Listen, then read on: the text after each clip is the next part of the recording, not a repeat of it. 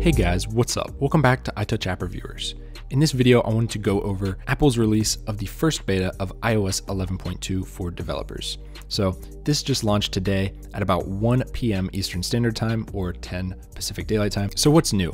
Uh, honestly, there's not a whole lot new. Uh, there's no Apple Pay with iMessage and there's no iMessages uh, in the cloud. So uh, keep that in mind when you're updating to this. They could put it out in another iteration, but for now, it's not in there.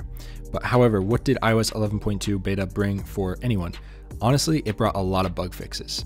This file was about 2 gigs on most people's phones, and it just kind of cleaned up some of the bugs that iOS 11.1 brought out. So, but you may be thinking to yourself, hold on, how is iOS 11.2 beta out for developers when iOS 11.1 is not even out for the public? That's a decent question. Uh, it's not unheard of for Apple to do this. However, we can expect iOS 11.1 public to drop either tomorrow or Thursday. Now, Apple's been, you know, kind of crazy lately with the release schedules, so don't quote me on that. I know I had other videos stating it would be last week uh, or early this week. Again, early this week could be tomorrow. I consider that early in the week, uh, but you can take that how you will. Again, iOS 11.1 public, expect that probably tomorrow or Thursday.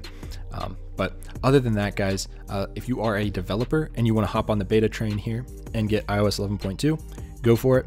The only thing I would caution you guys about is that iOS 11.2, uh, don't get it if you are getting the iPhone 10 this Friday.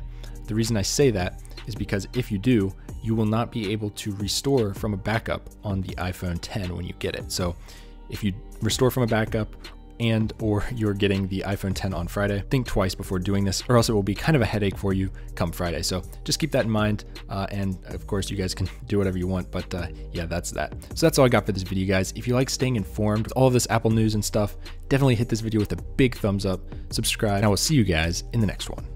Peace.